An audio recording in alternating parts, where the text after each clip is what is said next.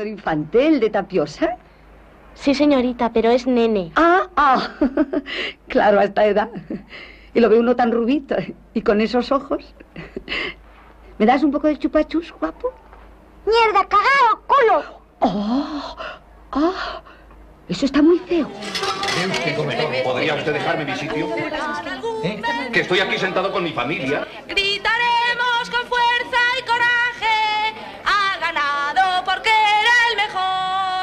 Si la honra de uno perece y enmasculan algún vencedor. Los brazos, por ejemplo, son más musculosos de lo que parece.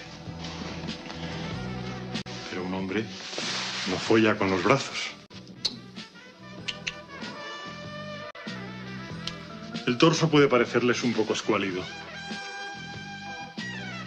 Pero un hombre no folla con el torso. Las piernas.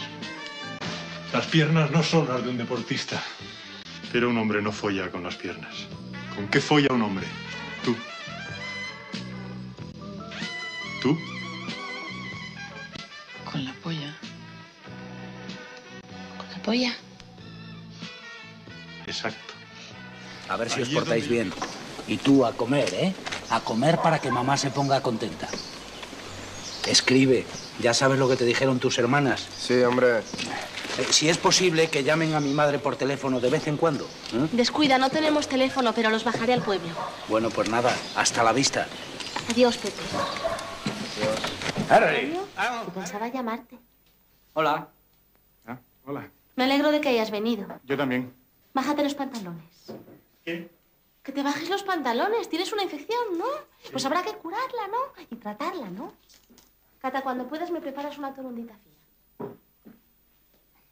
No, no te preocupes, que yo me voy. Te van a meter la torunda. No te preocupes, Antonio, relájate porque esto lo hacemos todos los días y no duele nada.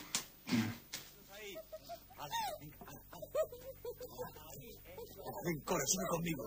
¿Pero para qué voy a subir? Sube, que te voy a enseñar una cosa. Sube. ¿Qué, Ya, me quieres, vas. qué me quieres enseñar? Que veas. Mira. ¿Eh?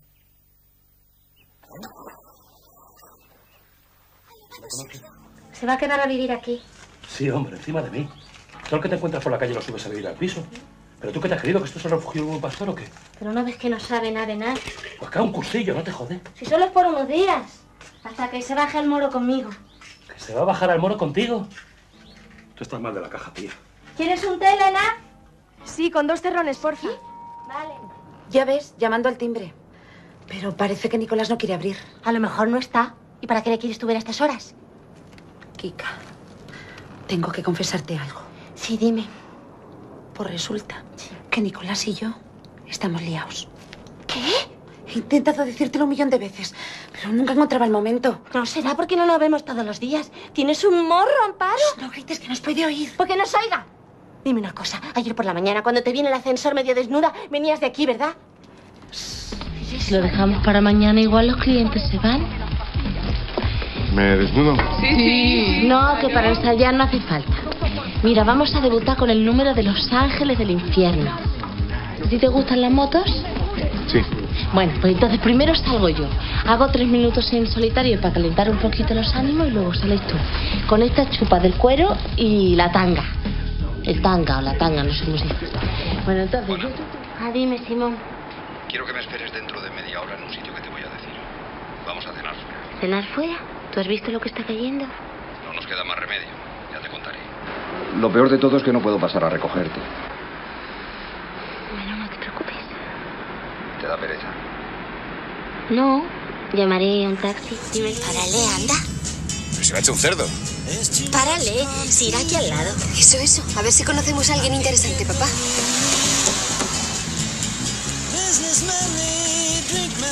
Hola. Vamos al faro. Sube. ¿eh? Ven, siéntate aquí. Para mí esta historia es una historia más. Claro. Esto es material dramático y punto. Pero tú seguramente debes haberte imaginado, no sé, que, que para mí tiene un significado especial o algo así y, y no. Se come un jumbo con capacidad para 300 pasajeros.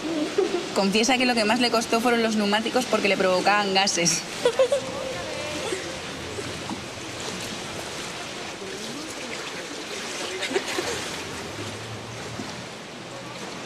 Me encanta tu gorro. ¿Has visto? Dicho que esto en un año es el nuevo centro. No te preocupes por nada, cariño. Si España va como un cohete. ¿Y cómo decís que se llama este barrio? Seseña. Contarme algún problema más de tus padres. Pero si también tienen muchísimas ganas de verte. No pienso ver a ese desgraciado. Me tenéis que ayudar a animarle. Esos dos hijos de puta me han arruinado la vida. Antes que salir a cenar con ellos, prefiero tirarme yo por la ventana.